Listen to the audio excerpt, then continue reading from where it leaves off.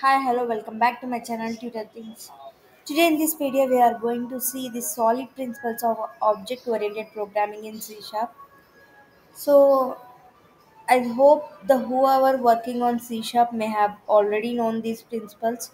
In this video we are going to explain in a, a clear way like uh, what is that and how it is used and uh, what are the advantages of using it. So everything in detail we are going to explain this. So let's get started. basically solid principles are the certain set of rules we call it as like by following those rules what we can do is we can improve the design and maintainability of a your applications or projects or softwares which you are going to create in your uh, development of any website likewise so these are the principles was first introduced in early 2000s. So from then we are using these for the best practice as a developer. Like who are working with object oriented programming, they should follow these particular kind of principles. So these are actually relevant to like agile development. Like they will create like flexible and uh, what you can call as scalable and uh, very easy to modify the code and easy to test so it will give a good standard of uh, codes by following this set of principles so often these asked in these questions like what is solid principles should be asked in any of the interviews? Because employers often look for the candidates who have a strong understanding of these solid principles. Because if anyone who knows these principles and following these principles in while coding they will able to create a, a good term of like long term sustainability applications and reduces the cost of the application and improve the long term sustainability of the applications so by following these principles we can create a very scalable code and scalable applications okay so this is widely popular in programming language, mainly with object-oriented programming language. We should follow these particular principles to create very good applications. So let's get started. So basically, SOLID is the full form or acronym of these five things, like we call it as the five principles. So S stands for single responsibility principle, and O stands for open closed principle, and L stands for Liskov substitution principle and I stands for interface segregation principle and D stands for dependency inversion principle. So let's see each and everything with the very detailed concepts. So let's see the first one like called as a single responsibility principle. So if a Martin C. Sorry, Robert C. Martin told us in a single statement like what is single responsibility principle means a class should only have a single responsibility as it the name suggests the same thing in its definition also a class should have only a single responsibility that is only changes to one part of the software specification should be able to affect the specification of the class so whatever you are changing that should affect that only. That should not affect the other thing. So that can be happen only when you are having the single responsibility thing. Like if that class should uh, responsible for that particular responsibility only. So by following this you can see the diagram so that you can uh, understand it in a better way. See search list are there. Search list for passed elements. So you are passing that you are searching that particular element and in that we should have search list means search list is should be happen there. We should not include the other elements like copy past element split listed element reverse the list. So everything should not combine that. We should have a separate for a separate thing. So searching we should have one. For copying we should have second one. And for splitting the list we should have second other one. And for reversing the list of elements we should have another one. For having like separate separate one it will be look in a clear way and if you have any changes you can easily modify those things and you can easily uh, check for errors and everything. So it should have a single responsibility. A class should have a single responsibility. So srp means single responsibility principle which is nothing but splitting a non-srp class. So a non-srp class means which is not a single responsibility. Here you can see. Here you can see this is search list is a class which are having so many responsibility is a non-srp class what we are doing to maintain single responsibility class we are splitting that into individual classes to for this particular responsibility only so like this we can achieve single responsibility principle okay you understood right so basic definition stands for Like SRP means it states that each class or module or a function in a program should do only one job. That should be up to only for that particular one job. In other words, what we can say is each should have full responsibility for the single functionality of the principal. So whatever the single functionality, we should have all the related or responsible kind of thing into a single set or single package. The class should contain only variables or methods relevant to that its functionality itself. We should not add the other functionality. For example, if you have an employee class, we should have the things like employee details and those things only should have. We should not include the student details or all, everything in that or other HR or uh, higher authority members. We should not add into that employee class. We should limit it to that only employee details only in that class. So that is much single responsibility principle. A class should have only one reason to change. So that is the reason we want to change a single functionality class.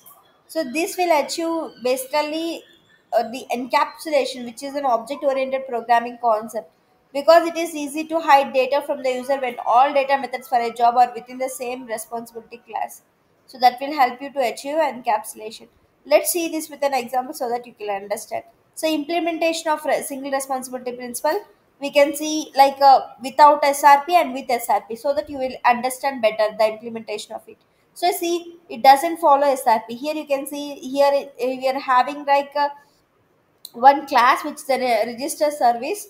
You can see here registered user is there which is not following SRP. Li- Like they are doing three different types of job: registering a user and connecting to the database. You can see here SQL connection is open.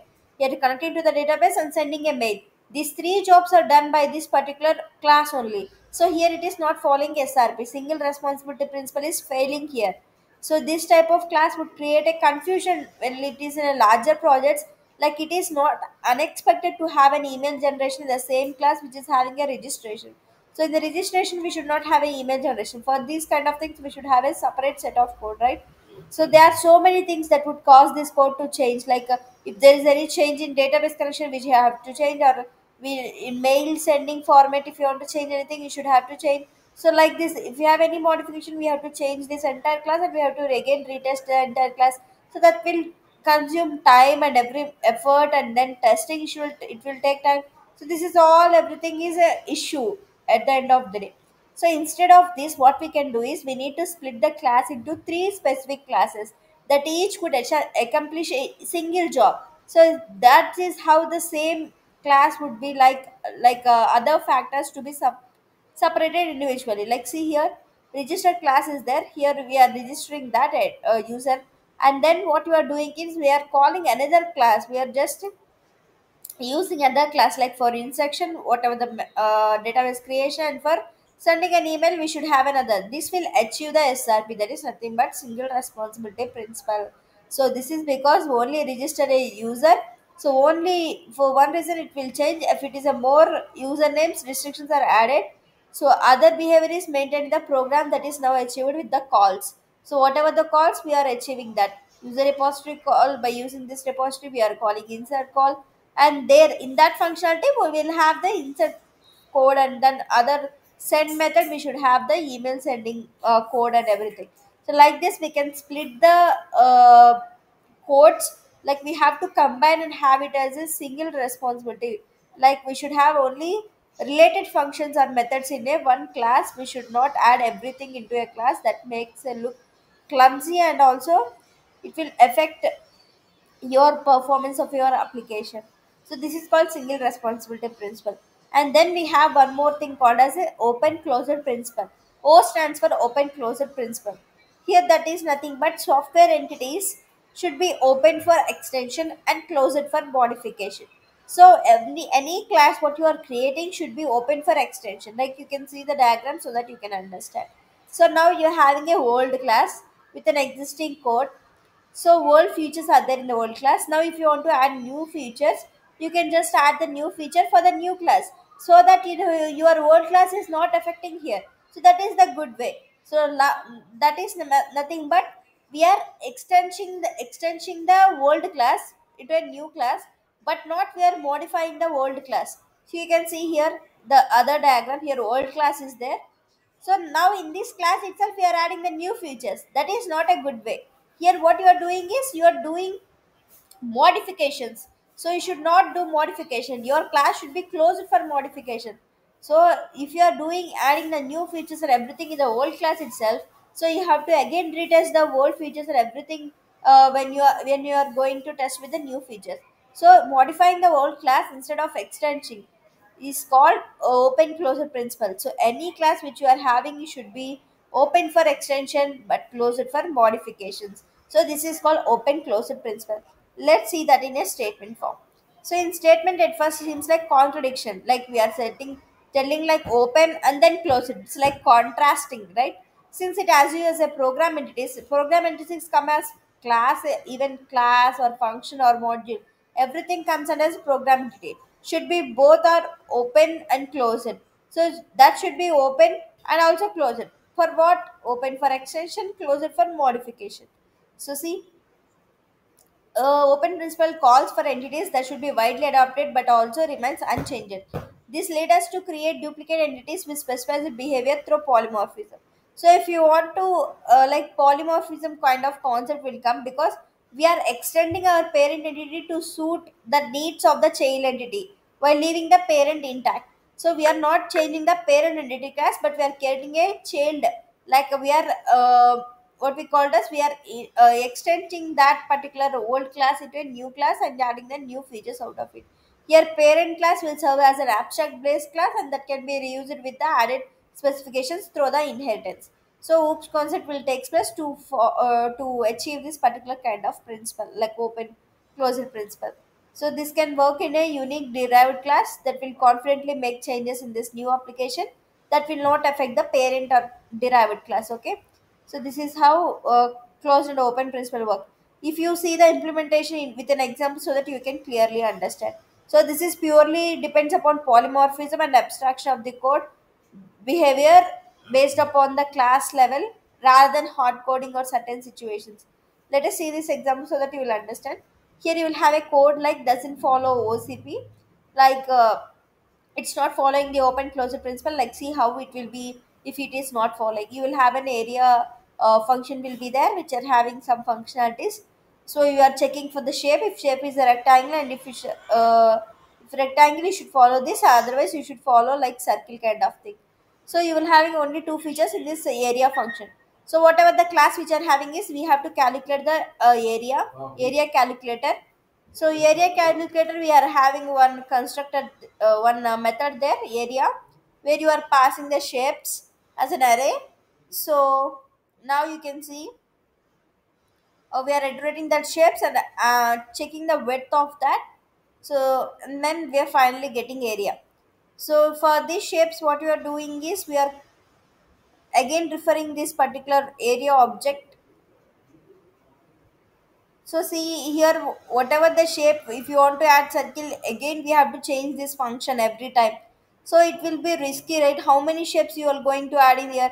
Like if it is a rectangle or if it is circle, you are going to add like this. That will be risky, right? So this is not, uh, this is comes under like modification. But one class should not be like should not be open for modification. Should be closed for modification. So that can be o- improvised by like this. Like you should uh, you should have an abstract class there. Understood right?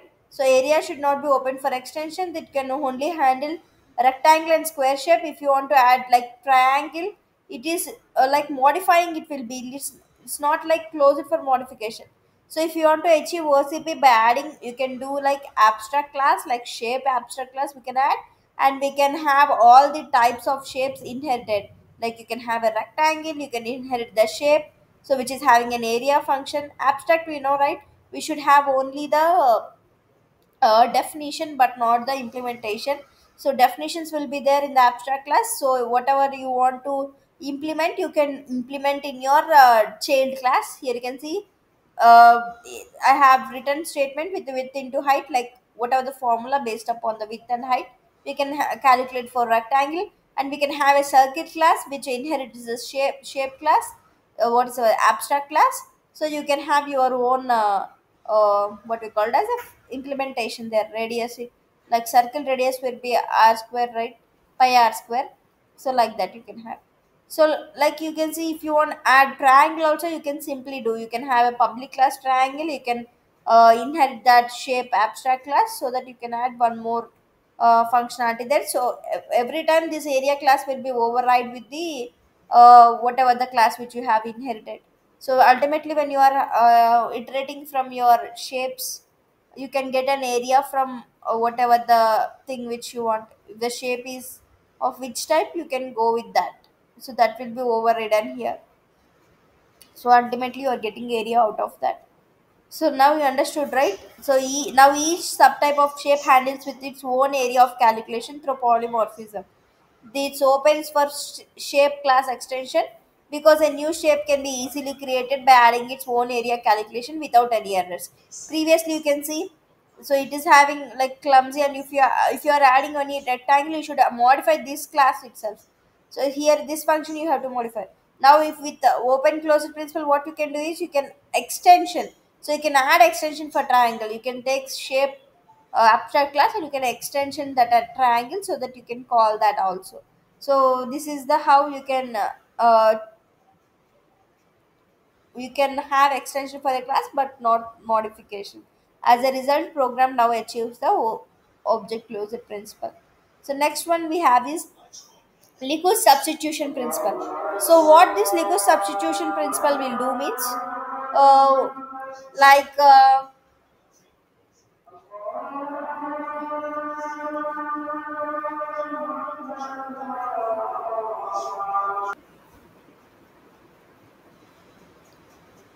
So, Liskov substitution principle is nothing but like uh, objects in a program should be replaceable with instances of their subtypes without altering the correctness of the program.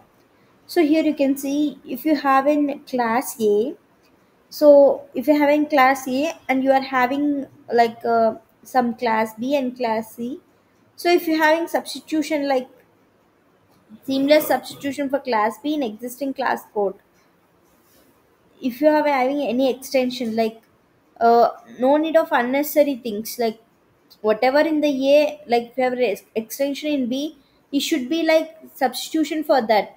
So previously you have seen right in this example for example if you have area here in the shape you are having an area so area abstract uh, definition will be there. So that should be overridden here.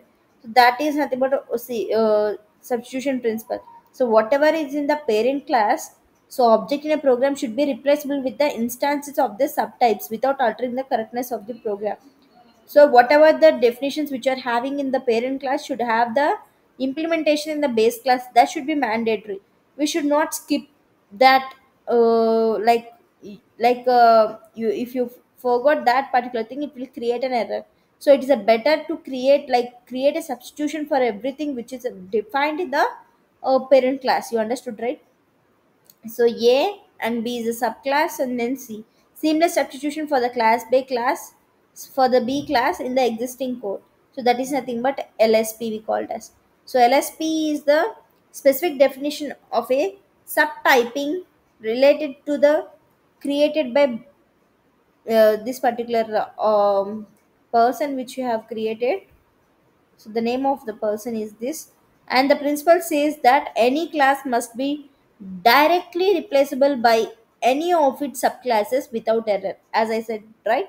So whatever the things which you have defined there, that should be comes in the uh, like whatever the extension which you have like parent uh, from the parent you will have a child class right so in that child class you should define that particular thing you should not skip that whatever you are having so you understood, right? Each subclass should maintain all the behavior from the base class along with its any new behaviors. Okay, unique to the subclass. So it should have the already defined parent class, and then if you have a new behaviors, then it will be okay. So here uh, you can see the example which is not following this LSP principle. So see class is the program we have and main method is there. There we are creating um, apple variable which is of uh, orange orange class. So with the base class of uh, this is apple, the derived class is orange so that you are creating your object like this. So you are creating you are calling method called as get color. You can see this get color is in this method base class method also and object class method also. So you, you have defined that thing here also. So it is not recommended to define here so if you have defined uh, there that should be overridden right? The, that should be overridden by the orange class. So when you are having the apple with a new orange so your output will be like orange. Orange will be the output. So here you are getting confusion right? Which uh, which uh, thing is overriding which thing? Like uh, it's not following lsq substitution. For example if you have adding another another class uh, like you are having one more uh, definition so you you are not implementing that in the orange class. So then that will that will directly take that a base class definition itself right? So then it is not specific to this orange class. Then this particular lewis substitution principle will not work. So see how you are achieving that by using uh, Lewis substitution principle. This can be achieved by using lsp so see this particular example. Here because orange class doesn't replace the apple class without altering the program of the output is overridden by orange class and therefore it would return an apple as a that an apple is orange. So this can be ordered by having an abstract class here. So yeah, abstract class is just de- defining that and we are implementing that in the uh, child class. Here you can see abstract class is fruit we have, which is having just definition and public class apple fruit. So we are overriding the whatever the definition which have red color based upon apple that should return a red based upon orange that will give the color as orange. So whenever you are creating an object for fruit so with new orange orange class then you can get color you will get an orange whenever you are creating get color with an apple uh, instance you will get an red red color as an output so here you are, you are achieving that uh, lsp so like this we have to do to change we should we should add an abstract class for fruit for both apple and orange that will implement. Here you can see column that will implementing this. So here uh, no need of having the virtual and then these things and you should have an abstract so that will be not visible to the end user. So implementation will be hidden. This will give you encapsulation for example it is a oops concept encapsulation encapsulation will be achieved by using this lsp so any type that may be apple or orange of uh, fruit class can be replaced with other subtype of other subtypes without errors. So for this specific class behavior, get color. As a result, this program is achieving LSP. So there is no confusion, right? So that will be clear. Like if you are calling this particular, this will come. So instead of here, if you haven't used an uh, virtual or override kind of things, that will give or as a red red as a result for this orange class. So to to maintain this we have to check virtual keyword is there or not and what is happening everything. Some error or confusion will be there. So if you follow these kind of abstraction kind of thing by using abstract class and just defining there and then having implementation for that by adding extension to that class so this will achieve LS, lsp so this is called uh, a lewis substitution principle. And the final um, next one is interface segregation. I stands for interface segregation in solid principles. So the definition integration segregation itself says that we are segregating the interfaces based upon the functionalities. So many many client specific interfaces are better than one general purpose interface. So if you're having like client said like uh, to have everything these information should be there. You have given some specifications to you. Instead of going into a single interface you can have to split like uh, how we are splitting the classes based upon single responsibility principle. Like the same we have to segregate the interfaces also. So it is better to have a single single interfaces for the single responsibilities. For example here you can see list is there for searching kind of thing. So that can be two lists like a integer list and then word list. In integer list you can search and the uh, for word list you can have like get first letter get word all the word related kind of thing you can have there and integer kind of related thing you can have it in a other kind other implementation. List is same. So whatever for integer and for uh, words you should list operations will be same. So you are just segregating that uh, two things. Like only inheriting applicable methods only like whatever the applicable at that time you can inherit that itself and you can do the operation. Instead of having all the unnecessary things in one place you can have only the necessary kind of things. Here you can see in the second in the second uh, diagram. Here list is there which are having like get first letter get word count and search so here they are uh, not seeing like that is that a integer list or a word list. They are performing entire things in a single entity like single interface so this is not recommended to use so only you can inherit based upon the applicable methods if you want uh, integer list you can you can only inherit that list for these functionalities likewise only so many client specific interfaces are better than having a one general interface.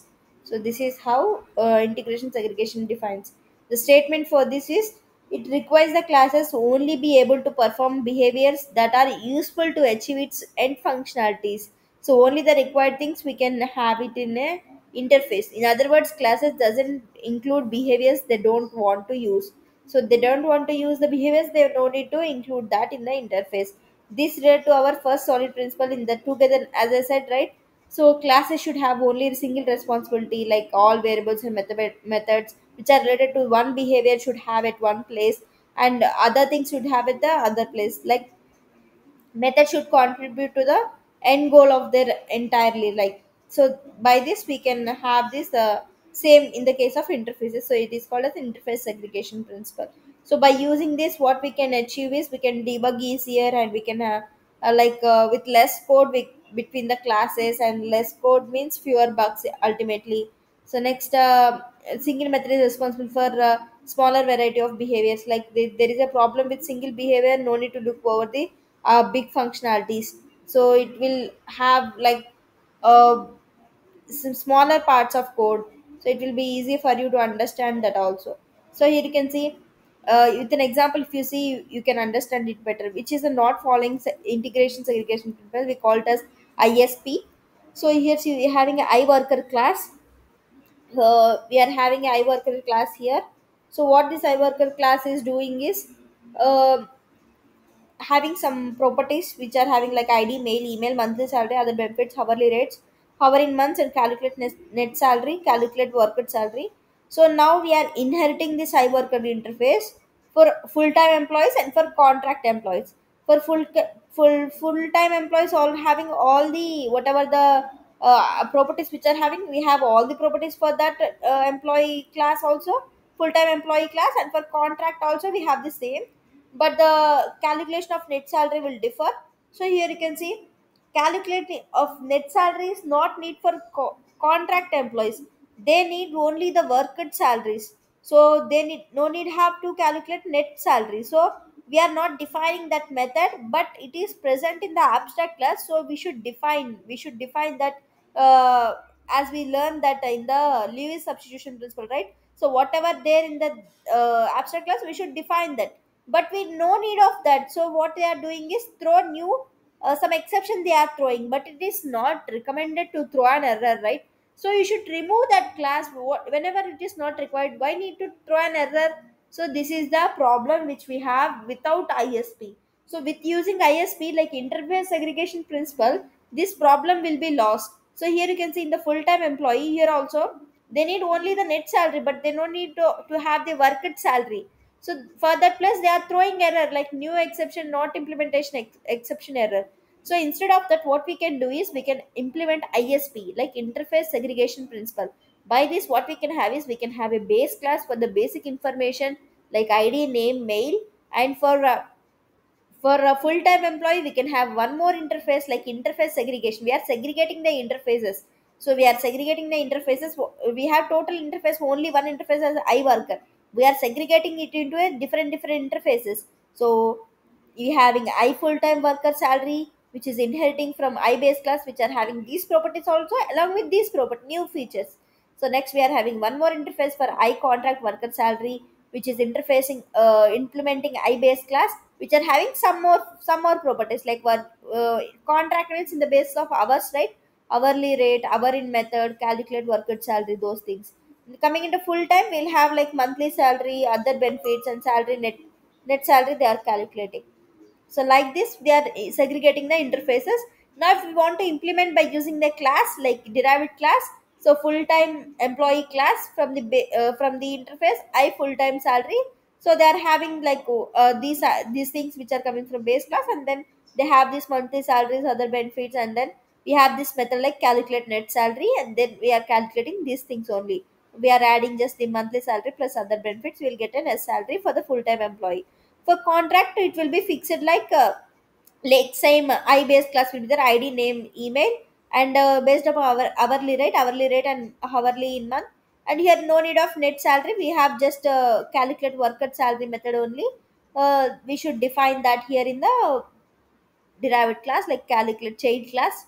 So calculate worker salary uh, based upon hourly rate and hours in month so like this interface segregation will ha- happen. Like i hope you have understood right?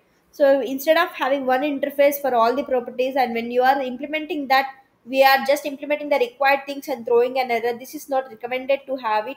So uh, instead of that what we can do is we can have a segregation like interface segregation isp we can di- divide that uh, interfaces and we can inherit the required things and remove the unnecessary kind of things and we can just implement those things only in the uh, derived classes and we can implement that uh, definition.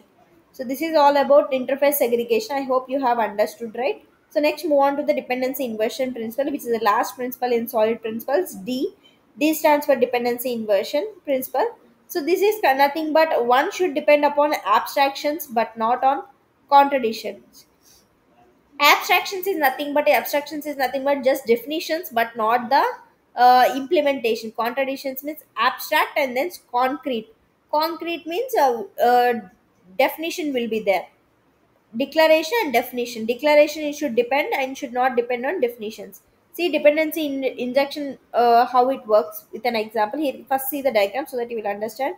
So here you can see interface a is there object a and object b is there so if you have an object a and if you are creating object b so whatever you are changing in object b will affect object a directly so instead of having direct interaction you can have a loose coupling like based of object a should refer to the interface A, ultimately that interface A inherits by uh, using object B.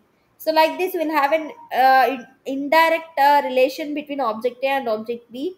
That is nothing but a loose coupling. So dependency inversion principle achieves loose coupling.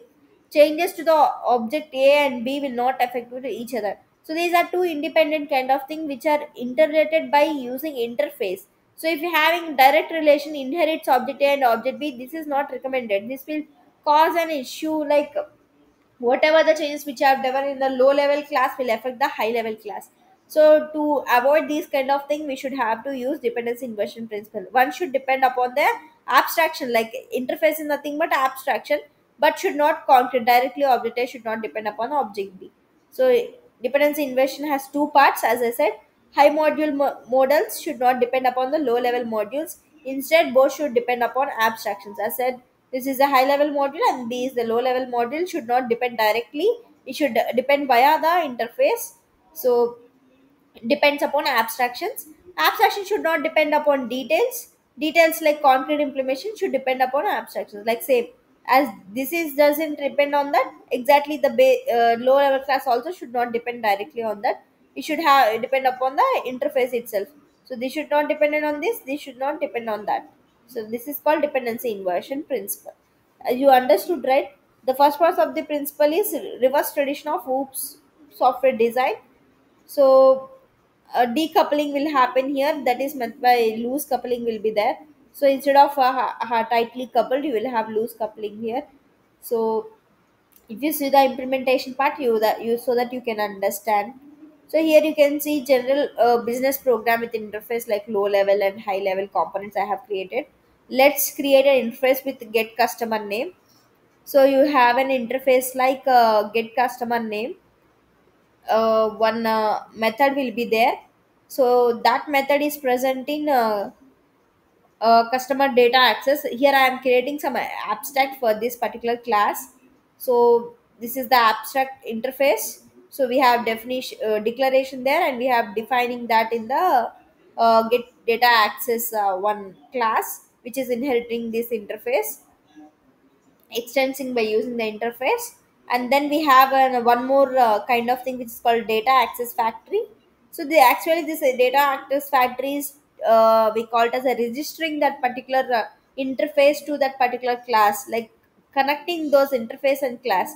So i customer data class is referring to the customer data class. Just we can call it as like uh, in .NET if you see this called as uh, registering a service like uh, by using singleton or transient we are creating that instance basically so if you having this uh, data factory this static method no need to create object for this it will directly call. So it will create you this uh, uh, data access uh, uh, it will call this class. So ultimately we'll get uh, um, abstract definition for this. And next we are having a business logic. What we are doing in that business logic is we are just creating the an object. Here you can see high level high level class here is a customer basic logic is the high level class. So there we are uh, calling the interface i customer data interface we are creating an object for that and constructor dependency injection can be done by using a constructor. So this is called constructor dependency injection. So constructor is there here public the same class name uh, will be there as a method name. And then in that we are uh, assigning that object which we have created. Uh, for that uh, we are calling this uh, uh, i custom get customer data access object. Here you can see. We are creating this uh, what we called as instance by using this constructor by using dependency injection uh, inversion. So public string get customers int and return get customer id so here how you are doing. We are not directly creating an object for a, a data access class directly we can do no need of having this much but you can directly create. So to avoid uh, like tight coupling if you have any uh, changes in that or creating uh, for example if you understand better uh, don't see this example i will explain you.